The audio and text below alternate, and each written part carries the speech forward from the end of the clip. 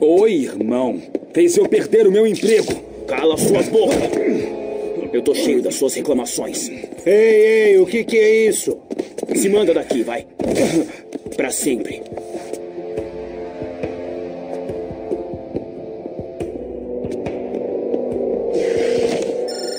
É a Gwen. Ah, que droga. O que que ela quer comigo agora? Ah, que se dane. Ela e o Brock vão ter que aguentar a grande decepção do Peter juntos. Venderam ingressos pra isso? Ou todos que te acham idiota virão? Não me provoca, hein, Flash? Hoje meu humor não tá muito bom. É, é, sua tia tá doente. Tadinho do Parker Molenga. Até a série tá com pena de você. Mas eu não. Se continuar com essa atitude, vai provar que você ainda é um grande otário. Um cara que não consegue ver quando os amigos estão tentando ajudar.